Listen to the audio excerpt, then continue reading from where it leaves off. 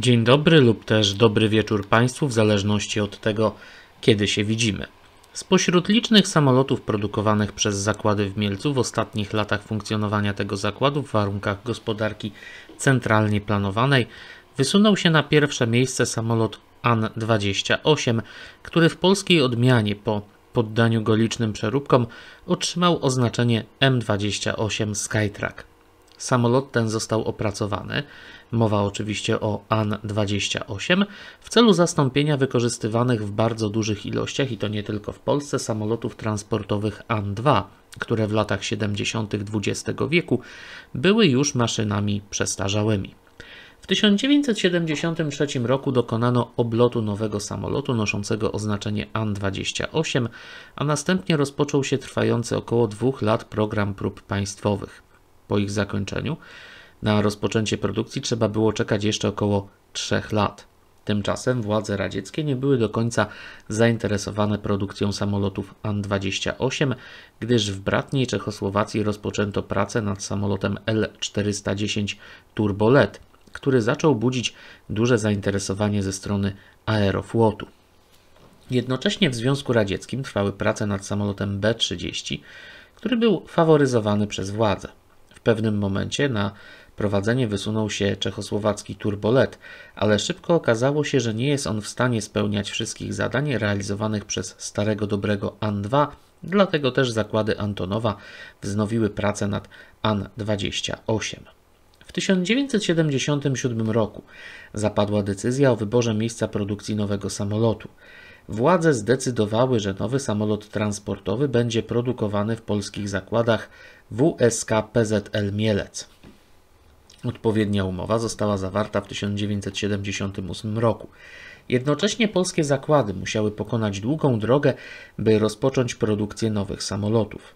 Pierwszym krokiem było opracowanie metod obróbki materiałów kompozytowych, a także montażu gotowych elementów wykonanych z nieznanego wcześniej tworzywa. Podczas opracowywania dokumentacji produkcyjnej po raz pierwszy na tak dużą skalę wykorzystano oprogramowanie komputerowe. Jednym słowem, rozpoczęcie produkcji samolotów An-28 w Polsce było dla zakładów w Mielcu krokiem w nową erę. Nieszczęście polegało jednak na tym, że owa ewolucja czy nawet rewolucja przypadła na bardzo niespokojne czasy.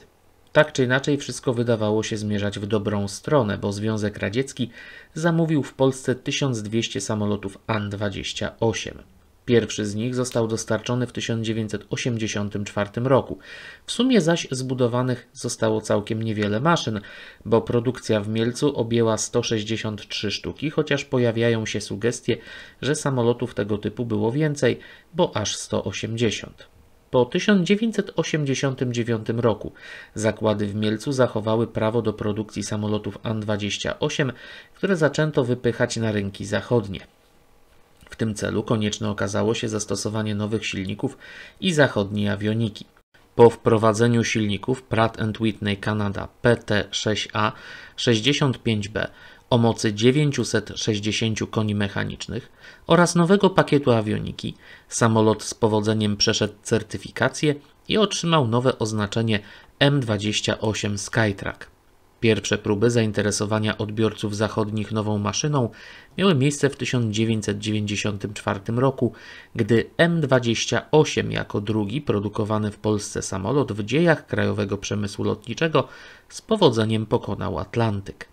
Za wielką wodą samolot poddano licznym testom, m.in. w warunkach górskich. Przeprowadzone wówczas próby wykazały, że samolot spisuje się bardzo dobrze i zachęciły konstruktorów do dalszych prac, które miały pozwolić na zwiększenie jego ładowności.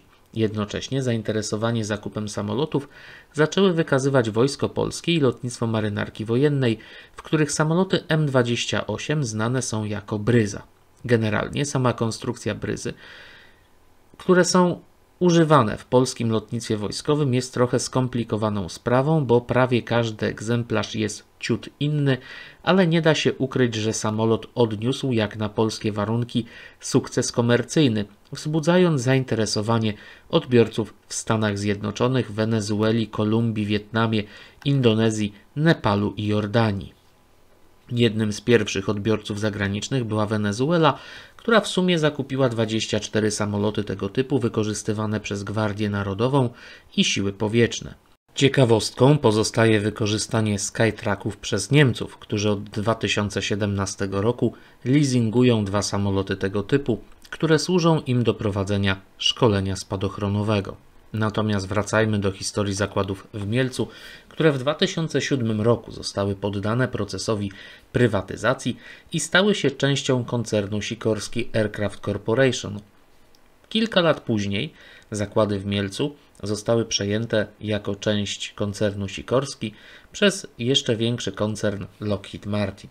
W 2009 roku, już w nowych warunkach, zainteresowanie zakupem samolotów An-28 pod zmienionym oznaczeniem zaczęły wykazywać amerykańskie siły zbrojne, a dokładniej dowództwo operacji specjalnych. Samoloty zostały zakupione przez firmę Sierra Nevada Corporation, która przystosowała samolot do wymagań amerykańskiego odbiorcy. Lotnictwo amerykańskie nadało nowym samolotom oznaczenie C-145A Combat Coyote. W służbie amerykańskich sił specjalnych samoloty posłużyły do prowadzenia operacji wsparcia własnych sił powietrznych, a także oddziałów desantowych, również w trakcie zadań polegających na wspieraniu państw sojuszniczych na całym świecie, głównie zaś państw słabo rozwiniętych, które nie posiadają rozbudowanej infrastruktury lotniskowej pozwalającej na wykorzystanie bardziej zaawansowanych maszyn. W sumie w Stanach Zjednoczonych eksploatowano 17 samolotów C-145A, które zostały zakupione w latach 2009-2014. Koszt jednostkowy takiego zakupu wynosił około 14 milionów dolarów amerykańskich, jednakże amerykański sen polskiej bryzy nie trwał długo. Początkowo samoloty przydzielono do 318 Dywizjonu Operacji Specjalnych stacjonującego w bazie Cannon. Potem Skytraki trafiły do żegnającego się z MC-130E Combat Talon 6 Dywizjonu Operacji Specjalnych, a później były wykorzystywane jeszcze przez 5 i 711 Dywizjon Operacji Specjalnych. Odpowiedzialność za serwisowanie samolotów w całości spadła na firmę Sierra Nevada Corporation, która zobowiązała się doprowadzić każdy samolot do stanu lotnego w ciągu zaledwie 24 godzin od momentu, kiedy zostanie on uszkodzony. Realizacja zadania była tym łatwiejsza, że An-28, który był de facto protoplastą Skytracka, nie należy do specjalnie wymagających maszyn. Tak czy inaczej, na tle innych samolotów wykorzystywanych przez amerykańskie lotnictwo wojskowe, gotowość na poziomie 92,72%, jaką prezentowały C-145A, była naprawdę bardzo dobrym osiągnięciem toku całej eksploatacji utracono jeden samolot, który został rozbity podczas wypadku w Afganistanie. Nie da się również ukryć, że działania prowadzone przez firmę Sierra Nevada Corporation miały duże znaczenie także dla zakładów w Mielcu, które w ramach amerykańskiego koncernu Lockheed Martin były w stanie nie tylko utrzymać zatrudnienie, ale także pozyskać nowe rynki, gdyż w 2015 roku w ramach obcinania amerykańskiego budżetu obronnego samoloty C-145A zaczęto przekazywać sojusznikom Stanów Zjednoczonych. Część samolotów trafiła więc do Estonii, gdzie wykorzystywane są dwie maszyny tego typu.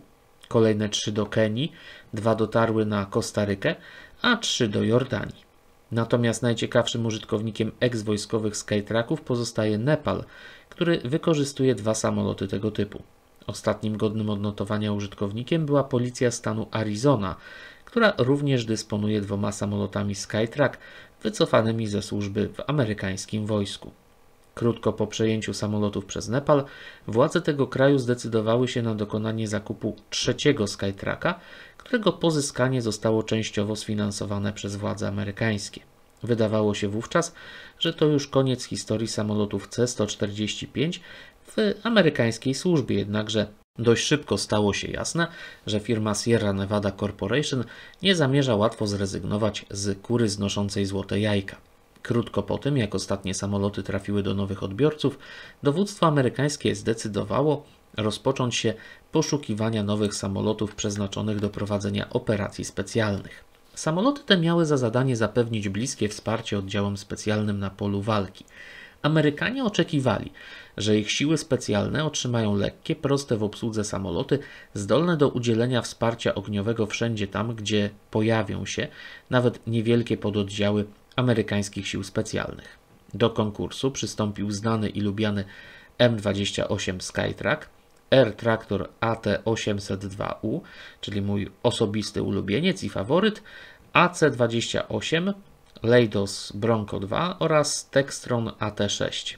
Ponieważ wszystkie wymienione typy różniły się od siebie bardzo znacznie, zdecydowano się początkowo rozpisać dwa konkursy.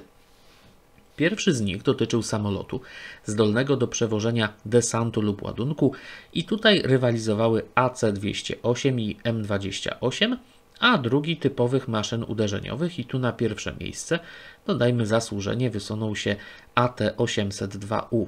Program pozyskania samolotów dla sił specjalnych, znany jako Armed Overwatch, rozpoczął się w 2020 roku, a już rok później na Florydzie przeprowadzone zostały testy wszystkich zgłoszonych maszyn. W kategorii samolotów uderzeniowych, jak już wspomniałem, zwyciężył wówczas AT-802U, natomiast wiele wskazywało na to, że także dla Polaków znajdzie się miejsce na podium.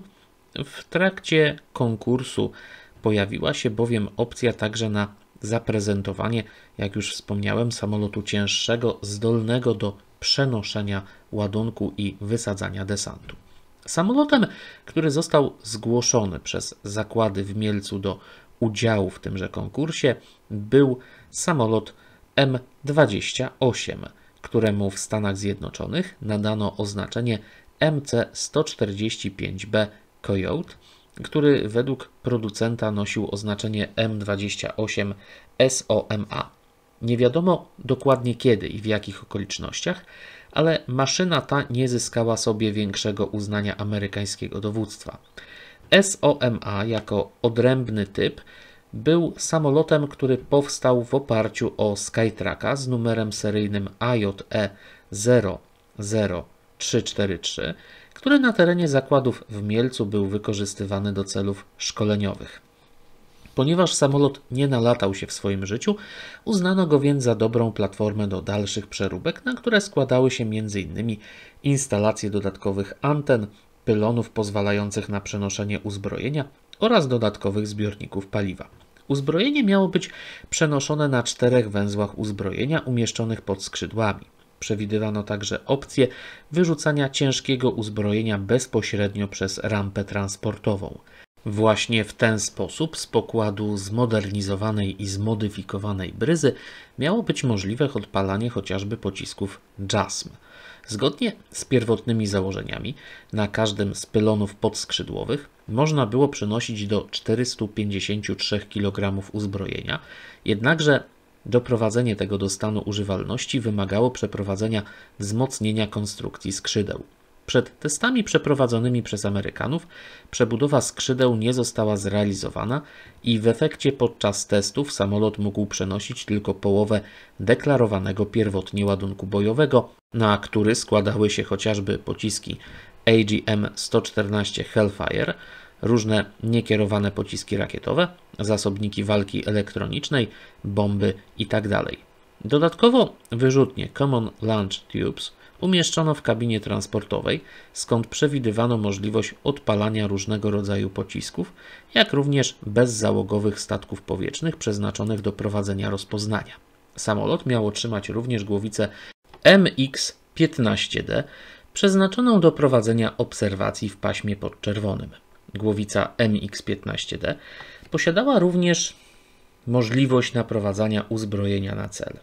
W nosie samolotu wzorem maszyn Bryza, wykorzystywanych przez polską Straż Graniczną umieszczono radar pogodowy. Bogate wyposażenie awioniczne miało zapewnić możliwość startów i lądowania w nocy w terenie przygodnym lub na lotniskach bez jakiegokolwiek wyposażenia dodatkowego. W teorii miało to być bardzo przydatne rozwiązanie, zwłaszcza podczas działań prowadzonych na terenie Afryki lub też Ameryki Południowej. Samolot miał także pewne ograniczenia. Na przykład pod dziobem nie można było zamontować jednej dużej głowicy obserwacyjnej. Konieczne było więc zabudowanie dwóch umieszczonych po bokach kadłuba. Początkowo planowano wprawdzie umieszczenie głowicy w dolnej części kadłuba. Głowica ta miała być w miarę potrzeby wysuwana w trakcie lotu, ale później zrezygnowano z takiego rozwiązania, ponieważ wymagało ono zbyt dużej ingerencji w konstrukcję kadłuba. Planowano także zastosowanie w samolotach dodatkowego wyposażenia, chociażby w postaci bocznych radarów oraz innego wyposażenia specjalistycznego. Niestety, z całego programu wyszło wielkie nic, bo amerykańskie władze zdecydowały się na zakup samolotów AT-802U Skywarden, o których wielokrotnie wspominałem na kanale, chociażby mówiąc, że takie samoloty by się w Polsce bardzo przydały, co zostało bardzo mocno skrytykowane przez wielu widzów.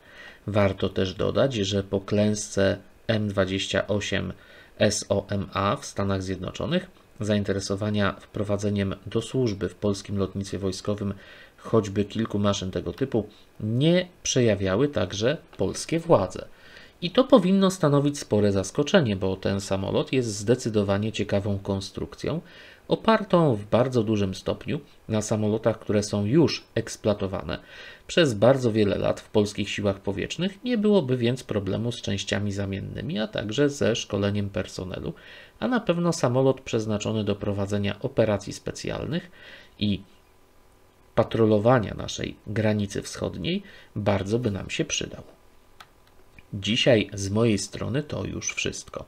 Mam nadzieję, że materiał wzbudził Państwa zainteresowanie. Zapraszam Państwa do wspierania kanału, co możecie zrobić na kilka różnych sposobów za pośrednictwem wirtualnej kawy, Patronite'a i YouTube'a. Jest to dla mnie bardzo istotne, bo pozwala mi na załatwienie różnych pilnych spraw. A czcigodni widzowie wspierający, niczym obsługa techniczna, pozwalają mi rozwijać skrzydła i zrywać się do kolejnego lotu. Ich listę widzicie właśnie na ekranie. Każdy z tych ludzi to taki mój bohater, chociaż nie noszą peleryny. Pozdrawiam serdecznie, a zwłaszcza patronów, widzów wspierających i kawosze, a wszystkich zapraszam na następny materiał, który powinien pojawić się na kanale już niebawem. Trzymajcie się ciepło, cześć i czołem.